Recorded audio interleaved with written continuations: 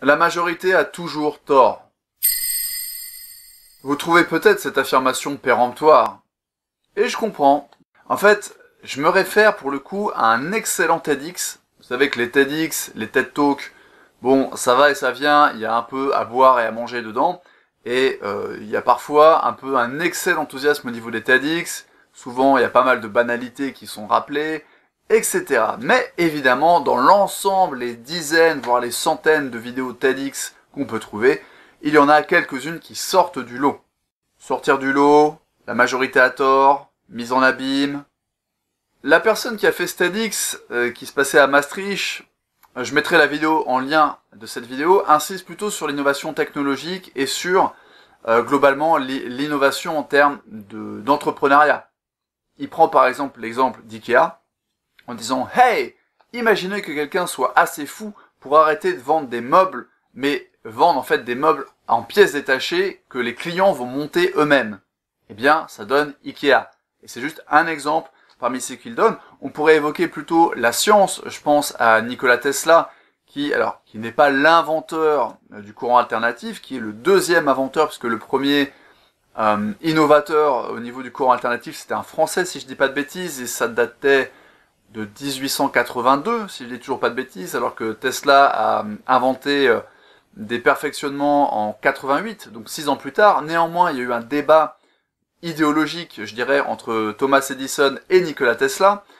Edison a momentanément gagné ce débat, il a viré Tesla, etc. Mais finalement, aujourd'hui, des années plus tard, qu'est-ce qui l'emporte C'est globalement la méthode du courant alternatif qui permet d'acheminer l'électricité sur de fortes distances sans qu'il y ait trop de pertes thermiques, le fameux effet Joule. Bon, je vous la fais court, hein, je suis pas expert en sciences dures, et peut-être que vous non plus, c'est pas la question. C'est juste un exemple pour montrer que Nikola Tesla illustre ce, ce proverbe qui dit que nul n'est prophète en son pays. Alors, pour le coup, c'était aux États-Unis, c'était pas son pays, mais en fait, nul n'est prophète en son pays, ça veut dire que, en général, quand on est prophétique, quand on est un innovateur, un visionnaire, que ce soit dans la politique, dans la technologie ou dans les arts, on n'est pas bien accueilli à l'époque où on se trouve et dans le milieu d'origine, puisque évidemment ça implique de briser des règles. J'ai à côté de moi la photo de John Coltrane et de Miles Davis. Bon, personnellement, je suis plus porté sur l'œuvre de Coltrane que sur euh, l'œuvre de Miles Davis. Mais ce qui est intéressant, par exemple, c'est qu'en 1960, John Coltrane tournait avec Miles Davis. Il était dans son son orchestre, je sais plus si c'était un quintet, un sextet, peu importe. Ils étaient en concert à l'Olympia tous les deux. Et euh, John Coltrane s'est fait siffler par la foule.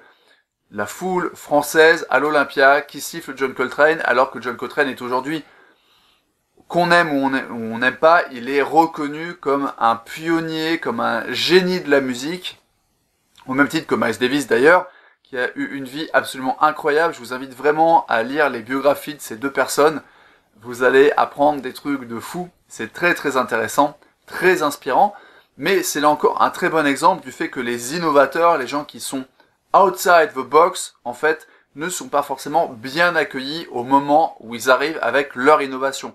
Pourquoi? Parce que par définition, si vous innovez, si vous apportez de la nouveauté, c'est que vous êtes différent de ce qui est normal.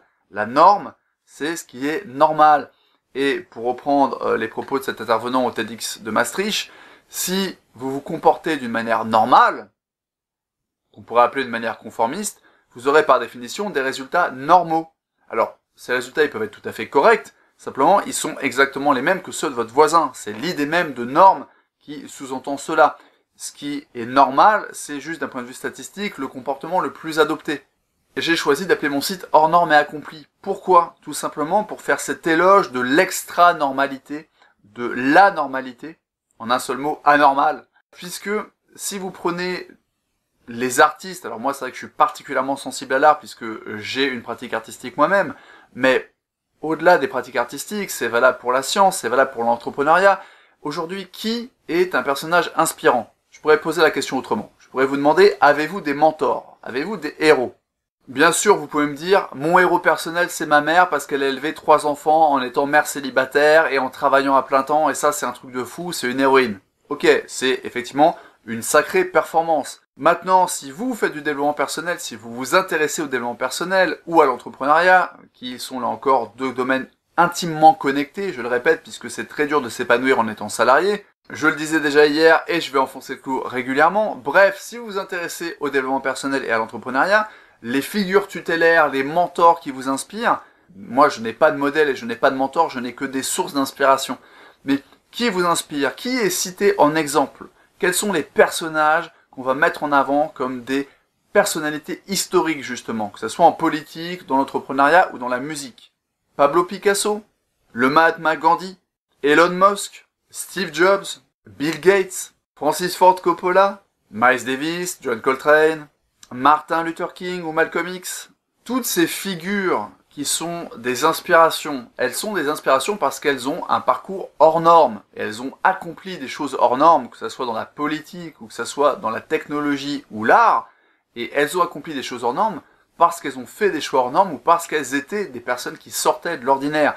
Bien sûr, vous savez que je suis féru d'analyse transactionnelle et en analyse transactionnelle, on essaye de tout le temps distinguer la personne et son essence, ce qu'on croit être l'essence d'une personne, de ses comportements. C'est pour ça qu'on va préférer dire que Miles Davis avait des comportements extraordinaires ou qu'il a fait des choses extraordinaires, plutôt que de dire Miles Davis était extraordinaire. C'est un raccourci. C'est infiniment plus rigoureux de pointer les comportements et d'utiliser plutôt le verbe avoir que le verbe être. C'est plus pertinent de dire que Martin Luther King a eu des comportements, a eu des actions extraordinaires, plutôt que de dire que c'était une personne extraordinaire. Après tout, Martin Luther King allait à la selle comme vous et moi.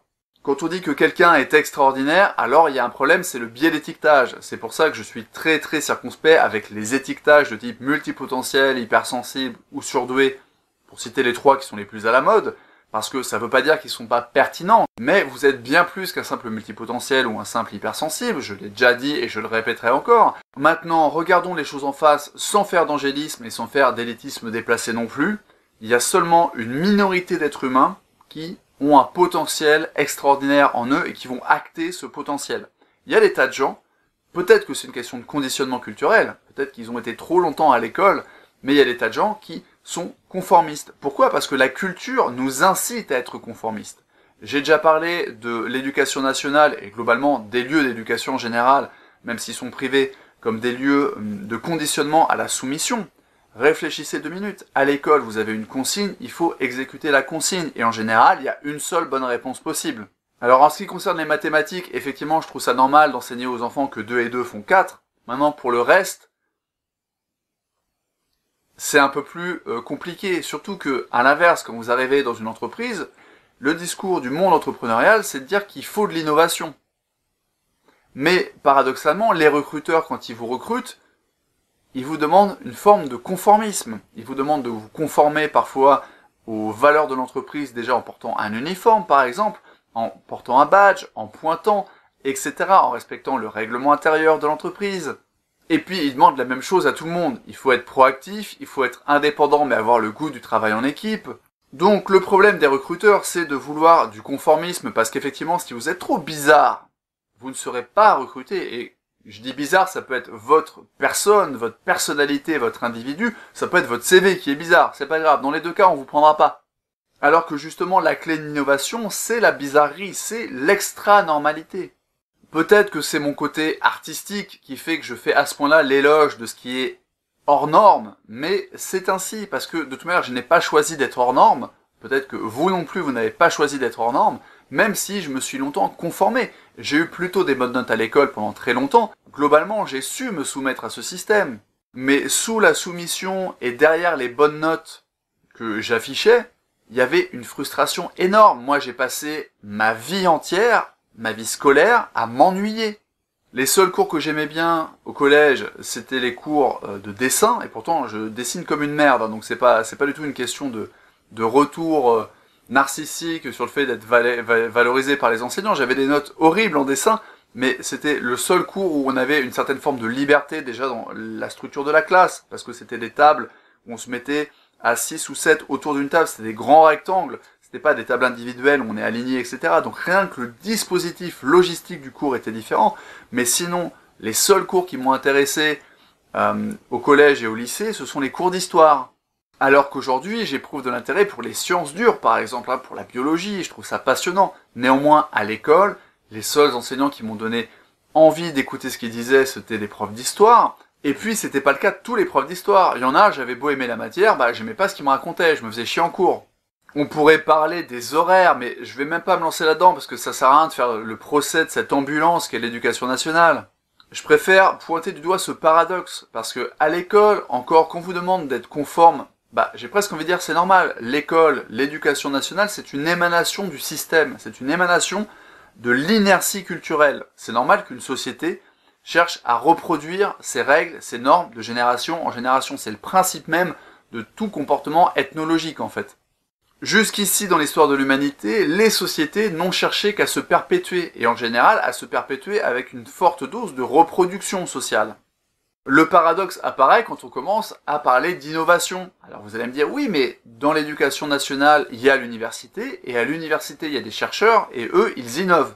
C'est vrai, mais je rappelle que la recherche, ça commence après le master. C'est-à-dire que ça commence après Bac plus 5. Donc dans le meilleur des cas, si vous redoublez pas, c'est à 23 ans que vous allez commencer à faire de la recherche, pendant que vous serez doctorant.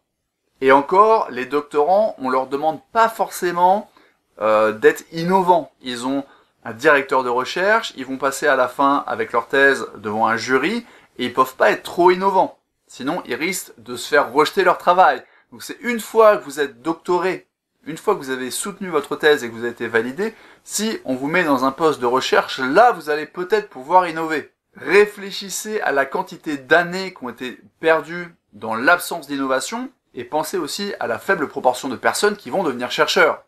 Et je le répète, on trouve le même problème dans les entreprises, puisque si vous êtes trop innovant, à moins d'être votre propre patron et d'être celui qui valide ou non les trouvailles, vous évoluez a priori dans un environnement où il y a des gens qui vont avoir le final cut sur ce que vous proposez. C'est exactement comme un réalisateur de film qui se trouve à Hollywood et qui en fait voit les studios retoquer son travail. L'ironie de ce paradoxe, c'est que la vie repose sur le mouvement.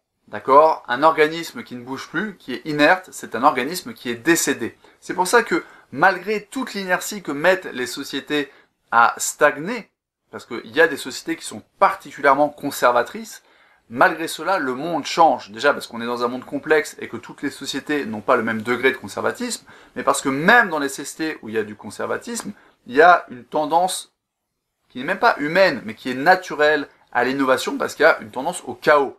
De même qu'il y a des mutations génétiques qui se produisent de génération en génération, eh bien les sociétés mutent. C'est obligatoire. Mais quand on réfléchit aux personnes qui ont changé le monde, qui ont changé le cours de l'histoire, on ne pense pas à des gens qui ont eu des vies ordinaires. Et je dis pas ça pour enlever le mérite d'un ouvrier, par exemple, qui aurait passé 30 ans sur une chaîne de montage à bosser 40 heures. Ça demande de l'abnégation. Ceci posé, posez-vous la question, je le répète, qui a fait évoluer des sociétés entières? Qui a fait, a permis à l'humanité des sauts technologiques? Qui a fait des sauts créatifs dans l'histoire de l'art? Qui a changé le monde au point que c'est une source d'inspiration pour vous? L'histoire humaine est faite par des gens hors normes, y compris dans le pire sens du terme. Parce que pour vouloir être le chef d'État d'un pays, par exemple, eh bien, faut être sacrément taré. Il y a des gens qui ont fait des travaux comme ça sur la santé mentale des présidents américains, mais on peut aussi parler de la santé mentale des présidents français, vous inquiétez pas, hein, c'est pas une exclusivité américaine. Pour prétendre à diriger un pays de 60 millions d'habitants, faut quand même être sacrément taré, faut être sacrément ambitieux, d'accord? Et quand on prend l'histoire, bah oui, euh, Staline a eu un certain impact euh, sur le monde, Hitler ou Pinochet ou euh, j'ai oublié son nom, le Watergate, Nixon a eu un impact sur l'histoire du monde, pour le pire plutôt que pour le meilleur, on est d'accord, néanmoins ce n'étaient pas des gens normaux. Après, leur poste était aussi des fonctions anormales, parce que avoir le destin de 360 millions, pardon, de 260 millions d'Américains à l'époque, c'est quelque chose d'hors norme, même si vous m'expliquez qu'il y a une Cour suprême, un Parlement, etc., qui tempère les présidents du pouvoir américain. Le simple fait que la fonction présidentielle existe, c'est déjà un truc de fou quand vous y réfléchissez, d'accord? Donc si on mettait la gardienne de mon immeuble au poste de présidente de la République, peut-être qu'elle se mettrait à faire des choses hors normes. Ou peut-être qu'elle démissionnerait parce qu'elle trouve que c'est pas fait pour elle. Donc il s'agit pas juste de glorifier l'extra-normalité en disant que c'est génial, que tous les gens hors normes sont des gens euh, qui font des bonnes choses pour le bien-être collectif. C'est pas le cas, d'accord? Mais dans l'extrême négatif comme dans l'extrême positif, les gens qui font avancer les choses sont des gens hors normes et on pourrait presque dire sont des gens fous, même si je déteste ce cliché de l'artiste euh, torturé ou toxicomane, etc. Il y a des artistes heureux notamment, mais quand on voit ce que ça demande d'être un chef d'entreprise, ou quand on voit ce que ça demande d'être un grand artiste, ou un grand innovateur euh, technique, y compris parfois de se battre contre justement la doxa, je reviens à euh, la fameuse polémique entre Edison et Tesla, quand vous innovez, ça veut dire que vous brisez les règles, hein, euh, que ça soit Tesla, que ça soit Steve Jobs, et je suis pas du tout un idolâtre de Steve Jobs, mais ces gens-là ne sont pas normaux. Pour être le patron d'Apple, il faut être fou. Pour être le créateur d'IKEA, il faut être fou. Pour être même le créateur de McDonald's, et je déteste cette enseigne, il faut être fou. Pour produire l'œuvre de Miles Davis, il faut être fou. Pour produire ce que moi je produis en musique, il faut être fou. Ouais, je viens de me comparer à Miles Davis, carrément. Mais c'est pas grave parce que je préfère Coltrane. C'était la 25e vidéo que j'ai fait en 5 semaines et c'est pour ça que j'avais aussi envie de conclure sur la folie et sur l'extra-normalité. Les gens se rendent pas forcément compte de ce que ça représente comme effort de créer une entreprise, de créer du contenu, etc. Et parce que globalement, j'ai choisi ma ligne éditoriale, vous le savez, j'ai changé plusieurs fois de nom de domaine, etc., de slogan. J'ai fini par entériner le site hors norme accompli parce que je ne peux accompagner les gens que depuis là où je me trouve. Je le répète, dans le coaching, on met une grande part d'humain. Contrairement à d'autres pratiques, où ça peut être plus mécanisé, plus autonomisé, plus automatisé, pardon. Quand vous faites de l'accompagnement, forcément, vous travaillez aussi avec votre personnalité. Il y avait un mythe, vous savez que j'étais dans une école très psychanalytique, Paris 7, quand j'ai étudié la psychologie clinique, et il y a cette formulation qui est intéressante au niveau de la psychologie clinique, qui est très inspirée de la psychanalyse, c'est celle de l'écoute neutre et bienveillante. L'idée de l'écoute neutre mais bienveillante, c'est que finalement le psychothérapeute, ou en l'occurrence le psychanalyste, essaie de ne pas projeter, de ne pas intervenir. Alors après, ça a été tempéré par les notions de contre-transfert par exemple, mais au final, il y a cette idée que euh, le psy quelque chose surtout le psychologue ou le psychanalyste, puisque les psychiatres sont des médecins et ça change énormément le rapport, les psychothérapeutes accompagnants, on va dire ça comme ça, euh, n'interviennent pas et sont neutres parce que leur idée c'est d'être à l'extérieur pour observer le patient et lui donner un feedback pertinent, voir des choses que le patient ne voit pas. Cette idée a fait long feu, puisqu'on sait très bien que, à moins effectivement d'être dans la psychanalyse classique où vous avez une personne qui vous tourne le dos sur un divan, et où vous ne dites rien, vous faites juste mm -hmm, Mhm. Oui, parlez-moi un peu de cette mort du père. À moins d'être dans ce cliché qui n'est pas très fonctionnel, forcément, le l'accompagnant, que ce soit un coach ou un psychothérapeute, l'accompagnant vibre avec sa propre sensibilité humaine. Il vibre à l'écoute de ce que lui dit son client et il vibre à la rencontre de son client. Je suis pas en train de vous dire que le coaching c'est un truc hyper émotionnel et qu'on est tous frères. Je suis simplement en train de vous dire que on apporte notre subjectivité et c'est aussi pour ça qu'on se spécialise dans des domaines différents. Petite anecdote pour finir, je me promenais à Versailles et je passe devant euh, un cabinet euh, médical et je vois qu'il y a une psychologue et sur sa plaque il y a marqué psychologue euh, clinicienne, psychothérapeute, enfant, adolescent, adulte, famille, couple. J'ai vu ça, je me suis dit mais en fait donc la meuf n'est spécialiste de rien quoi. J'ai fait une vidéo sur la spécialisation et le marketing de niche pour vous dire de vous méfier de la spécialisation qui fait passer les gens pour des experts, mais là c'était l'excès inverse. La meuf n'est spécialiste de rien. Faire de la psychothérapie avec un enfant ou un adolescent, c'est pas comme faire de la psychothérapie de couple. Ça n'a strictement rien à voir. Et donc, chacun choisit ses domaines avec sa prédilection, y compris sa prédilection par rapport à son parcours. Moi, ça m'a pris des années pour transformer mon extra-normalité en richesse, plutôt que de le vivre de manière complexée en, me disant que j'étais inadapté à la vie sociale, alors qu'en fait d'ailleurs je suis très adapté à la vie sociale au niveau des interactions, mais par rapport aux cases et au conformisme que la société vous demande, par rapport aux cases dans laquelle, lesquelles la société veut vous mettre, cases dans lesquelles elle vous met dès votre naissance quasiment quand vous allez à l'école, et après ça se reproduit dans le monde de l'entreprise, surtout si vous êtes salarié ou fonctionnaire, ça m'a pris tout un travail sur moi pour me réapproprier ma différence, me réapproprier ma bizarrerie qui est en fait une richesse immense parce que c'est pas pour rien que je suis musicien, c'est pas pour rien que je crée des choses, etc. Et en fait, je voulais faire cette euh, agiographie de l'extra-normalité, on pourrait dire ça comme ça, pour vous inciter à accepter votre différence, à chercher la richesse dans ce qui fait que vous êtes extra-normaux. On dirait que je parle des X-Men quand je dis ça, mais voilà, soyez le X-Men de la vie réelle. Prenez soin de vous, prenez soin du monde, moi je vais prendre des vacances, ça peut servir.